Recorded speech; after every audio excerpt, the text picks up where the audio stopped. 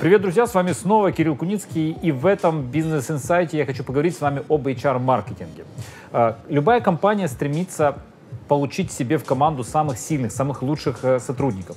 Но важно понимать, что рынок труда это очень конкурентная среда, и очень большое количество компаний претендуют за то, чтобы получить в команду действительно самых сильных, самых лучших э, кандидатов.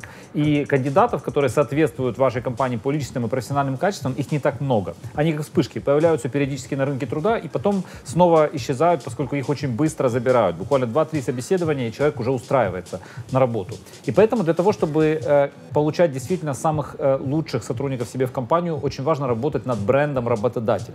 А это значит, нужно с одной стороны работать над внутренней средой, то есть постоянно работать над совершенствованием э, климата в коллективе, над э, совершенствованием условий работы, над совершенствованием вашей корпоративной культуры. И параллельно коммуницировать об этом э, во внешний рынок. То есть э, подобно тому, как вы строите маркетинг своей компании, вы работаете над продуктом и вы строите коммуникации, когда вы доносите рынку и, и объясняете, что ваш продукт крутой, и он круто решает определенные потребности вашей целевой аудитории. Точно так же и с сотрудниками. С одной стороны, работаем над внутренним климатом, с другой стороны, коммуницируем об этом во внешнем мире.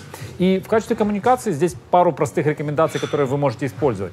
Первое – это э, заведите группу в социальных э, сетях. Заведите группу в социальных сетях, например, у нас в компании есть группа «Жизнь бизнес-конструктор» в Фейсбуке, где мы постоянно коммуницируем, показываем наш внутренний мир. И ссылку на эту группу мы даем во всех своих вакансиях для того, чтобы кандидаты могли изнутри посмотреть, как проходят наши мероприятия, фотки с наших каких-то событий, видеоролики. То есть мы показываем изнутри, какие мы. То есть простая рекомендация, которую может использовать каждая компания. Кроме этого, вы можете снимать видео о вашей э, компании, о том, как происходит работа в вашей компании. Вы можете снимать видео-отзывы сотрудников, работающих в вашей компании. Это также очень классно работает.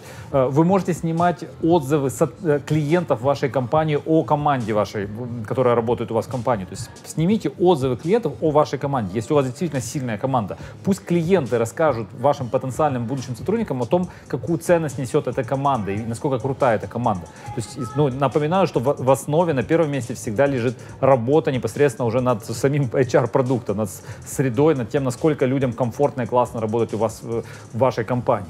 Вот такой простой принцип. Поэтому задайтесь э, сами вопросом, что вы можете сделать уже сейчас, чтобы начать повышать качество вашего HR-продукта и коммуницировать во, вне, во внешнем мире о том, что представляет собой HR-бренд вашей компании. Работайте над вашим HR-брендом. Ставьте лайк. С вами был Кирилл Куницкий, и мы увидимся с вами в следующих бизнес-инсайдах. Пока.